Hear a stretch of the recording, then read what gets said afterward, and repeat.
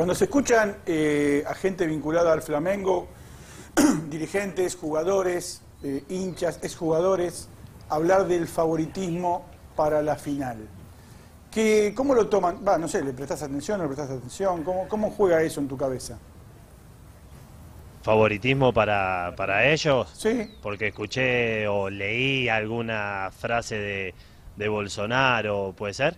Bolsonaro, Ronaldinho, eh, otros, otros dirigentes, otros exjugadores, eh, creo que hasta el propio Zico. Está bien, tienen, tienen, tienen confianza en, el equipo que tienen, que tienen un, gran equipo realmente.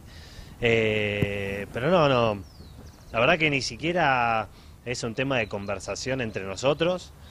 Eh, nosotros a lo nuestro, seguimos trabajando eh, enfocados en, en todo lo que viene.